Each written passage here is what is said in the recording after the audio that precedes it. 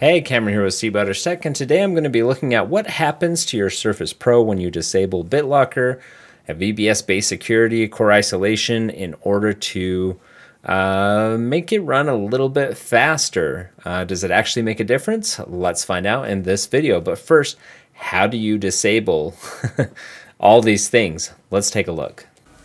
Okay, so I'm going to show you a few ways you can mildly enhance your performance uh, by disabling certain security features. Now, this is not for everyone. Uh, this is, I'm, I'm going to talk you through each of the features and kind of what they do. Um, but there is performance gains to be had. This is more just to see how much performance we can gain by one, disabling BitLocker, two, disabling core isolation, VBS, and HVCI.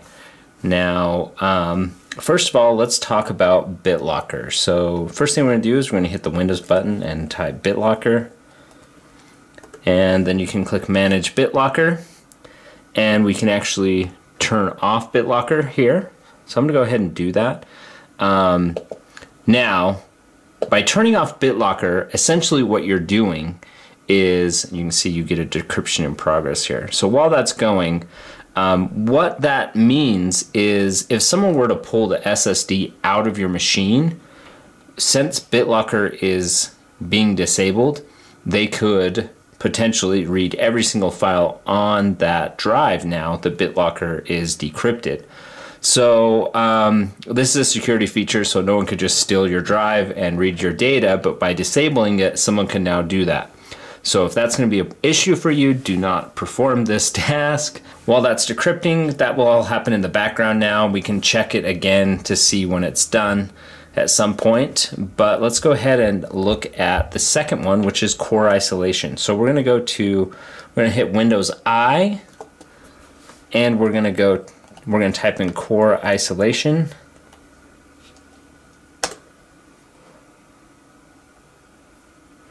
And we're going to turn uh, memory integrity off. And you'll have to reboot to, to change this setting. So we'll go ahead and do that now. Okay, the next thing we're going to look at is uh, to see if VBS or virtual base security is enabled. So we're going to hit Windows and we're going to type system information. We're going to go here and what you're looking for is right here, virtualization based security, and it says it is running. So in order to disable that, there's a couple steps we need to take. Okay, to disable this, you're going to want to open the registry editor. So we'll go ahead and open that. And we're going to navigate to HKey local machine.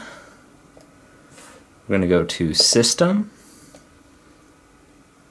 we're going to go to current control set and then we're going to go to control and then we're going to go to device guard. And then we have some registry entries here and a lot of those are enable virtualization based security and we're going to set that to a zero. So now if we run system information again you can see it's still running. now this is this is you really have to fight it. So let's go back to regedit and um, we still need to go into scenarios and in scenarios there's system guard and that's set to enabled so we're going to set that to zero. I'm going to reboot again and see if that gets it for us.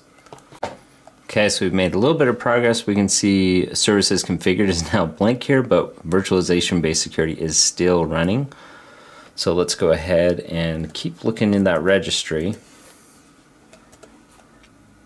So we're going to change require platform security features 0 and require Microsoft signed boot chain to 0. So all of our items are zero now. Let's reboot and see if that gets us any further. Okay, so a little more progress. We've got a few of these things disabled. Uh, so we're going to get a little more brute forcey. We're going to go to CMD, command prompt. We're going to run this as administrator. And we're going to type bcd edit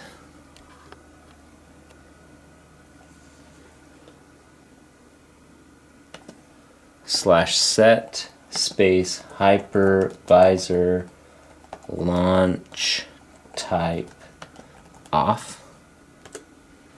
Operation completed successfully. We'll reboot.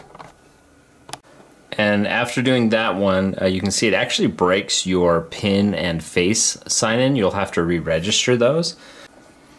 Okay, now after doing all that, you can see virtualization-based security is enabled but not running, so we still have not completely disabled it. So now we got to do uh, one more thing, which is we need to enter the BIOS. So to enter the BIOS, you're going to go to your system, and inside system, you're going to go to recovery,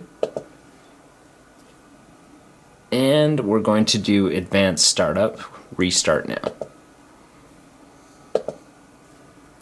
Okay, we're going to choose troubleshoot. We're going to go to advanced options and we're going to go to UEFI firmware settings. Okay, now we're in the BIOS. We're going to go down to we're going to go down to this option which is secured core and we're going to turn that off and then we'll exit okay so it appears even that was not enough to disable it. So we're going to try one more thing, which is group policy. So we're going to hit Windows and type GP edit, edit group policy. And we're going to go to computer configuration, administrative settings, system,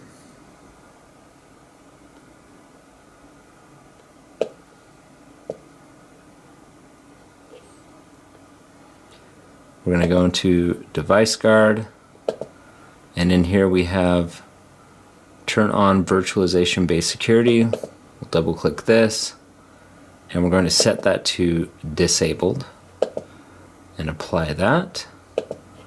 And then let's reboot one more time to see if we're finally done. Okay, so finally after changing every single setting possible, we're to go to system information and we can see, yes, finally, virtualization based security is not enabled. So now let's benchmark things and see if things are any faster on the Surface Pro 10. All right, so I've run several of my usual benchmarks to see what turning off VBS, BitLocker, and some of these security features to see what they do. Uh, first of all, we're looking at Shadow of the Tomb Raider, and we can see we actually went from 25 frames per second average uh, with VBS disabled, and stock configuration, it only got 22 frames per second. So pretty interesting result there. Let's move over to Final Fantasy 15 benchmark. And this one didn't seem to carry either way. In fact, the stock score was actually slightly higher, but within margin of error. So no changes on Final Fantasy. If we look at Cyberpunk, though, huge difference here. We went from 16.59 uh, we went to 16.59 from 14 frames per second. Again, this is 1080p, higher settings. You wouldn't want to play the game like this, but gives you a good idea of the performance difference. This is a huge 18% difference with VBS disabled versus stock. So definitely an increase here. If we look at TimeSpy, uh, the overall score went from 2257 stock to with VBS disabled 2337. So, so that's a pretty surprising result on the Surface Pro 10 that we have here. And uh, might be worth considering turning VBS off, but it's not that big a deal that it's like a huge difference. Um, that, I mean, if you're very security minded, if you're using this for company purposes or doing real business on it rather than, you know, your own personal thing that you take other security measures, you may not want to do this, but uh, there are some performance gains that can be had by doing this. It's interesting uh, to see uh, what the difference was. So thanks for watching. Enjoyed this video. Like and subscribe, and we'll see you on the next one.